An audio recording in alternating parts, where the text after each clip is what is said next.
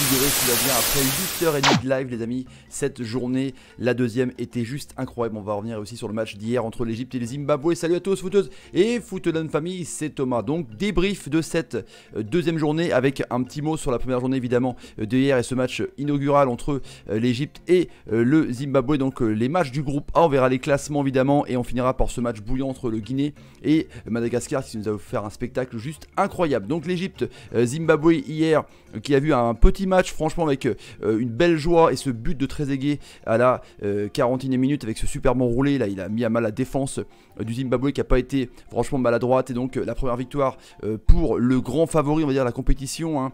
les Pharaons qui ont remporté 7 cannes 3 cannes sur 4 organisées chez eux. Donc évidemment c'est l'ogre de la compétition. Mais quand même je voudrais mettre en avant un joueur que j'ai vraiment adoré c'est Biliat le joueur Biliat qui a été vraiment énorme. Franchement il a été au-dessus du lot. C'est un feu follet dans cette équipe du Zimbabwe. Franchement, il faut vraiment le féliciter en tout cas Zimbabwe, euh, une équipe vraiment qui peut encore faire mal dans cette compétition. La surprise évidemment euh, de ce groupe A, c'est la défaite hein, de la République démocratique du Congo, défaite donc par l'Ouganda avec un but de Patrick Kadou et un autre but donc de l'ami Okui, donc vraiment une équipe qui a été vraiment évidemment dépassée dans tous les niveaux. Pourtant, l'RDC était quand même un des euh, pas favori, mais presque favori dans euh, cette compétition, un outsider, et puis se sont fait vraiment manger par l'Ouganda. Ils ont bien démarré, et puis euh, avec des joueurs comme Mia, qui ont vraiment rentré dans l'art de tous les joueurs, un, décevant, un très décevant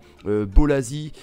Kamano aussi a été vraiment devant, vraiment aux abonnés absents, c'était vraiment bizarre. Cédric Bakambu donc n'a pas eu de ballon parce qu'il y avait les lignes coupées en deux entre le milieu de terrain de l'Ouganda qui est vraiment pas très technique avec Trésor Mpuntu qui n'est même pas rentré, Mulumbu encore une fois qui est pas rentré, euh, vraiment un choix de coach assez bizarre, en tout cas un chef de joueur assez bizarre. Donc l'Ouganda qui euh, remporte 2-0 de façon un petit peu, euh, faut dire ce qui est, un petit peu bah, surprenante quand même, vraiment surprenante. En tout cas, un beau match de foot qu'on a vu entre euh, ces deux équipes qui étaient euh, vraiment assez intéressants, les petits amis. On va voir évidemment le classement du groupe A. Le classement du groupe A avec donc euh, la surprise, donc l'Ouganda qui est premier avec 3 points, différence de plus 2. L'Egypte donc 3 points, la différence de plus 1. Zimbabwe donc moins 1, troisième. Il y a les meilleurs troisièmes qui sont qualifiés pour les du finale les amis.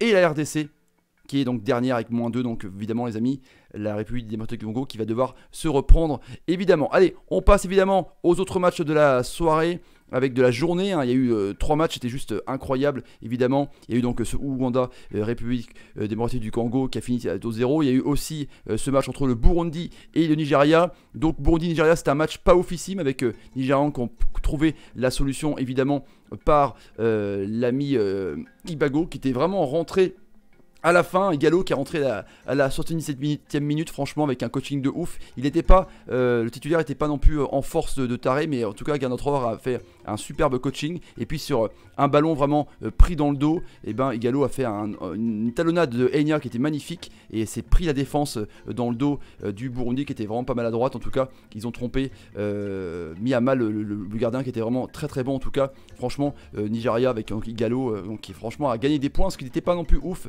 Armen Musa est rentré aussi euh, un peu derrière l'attaquant en tout cas. Garotroir a fait des bons, euh, des bons, des bons changements. Et le joueur à mettre en avant évidemment c'est Fiston Abdul Razak qui était vraiment énorme dans ce match, je l'ai trouvé concerné en tout cas.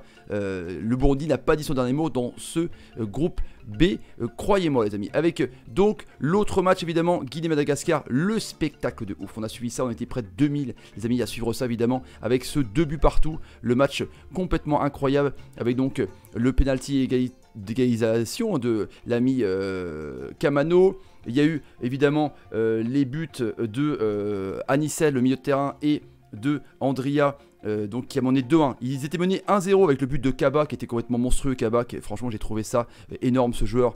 Franchement, il se prend un selfie, mais en numéro 9, le joueur de Dijon qui a été monstrueux. Donc ils ont mené 1-0. Ensuite, deuxième mi-temps, coup sur coup, ils ont marqué des buts Madagascar qu'on voyait même qui, pourquoi pas, avoir la victoire au bout. Et du coup, Kamano a égalisé donc 2-2. Donc un mauvais résultat, on va dire, pour la Guinée. Un très bon résultat pour les barrières, en tout cas, les amis. On va voir ça évidemment au classement, le classement du groupe B. Les petits amis, le classement du groupe B qui ensuite ici avec donc la première position pour le Nigeria avec 3 points, Guinée, Madagascar, égalité et le Burundi qui est dernier, les petits amis. Donc encore une fois, c'est que la première journée, c'est que les premiers matchs des groupes en tout cas, mais ce groupe A et groupe B nous a offert du spectacle avec un énorme Madagascar contre euh, les guinéen, le signe national. Allez les amis, c'est parti évidemment, le programme de demain, les amis, le programme de demain, un gros programme évidemment, gros programme de demain avec euh, des matchs euh, de ouf, avec on va commencer évidemment le match avec Sénégal-Tanzanie à 17h, ça c'est 17h, avec le Maroc évidemment, Namibie à 16h les amis ça va être ouf.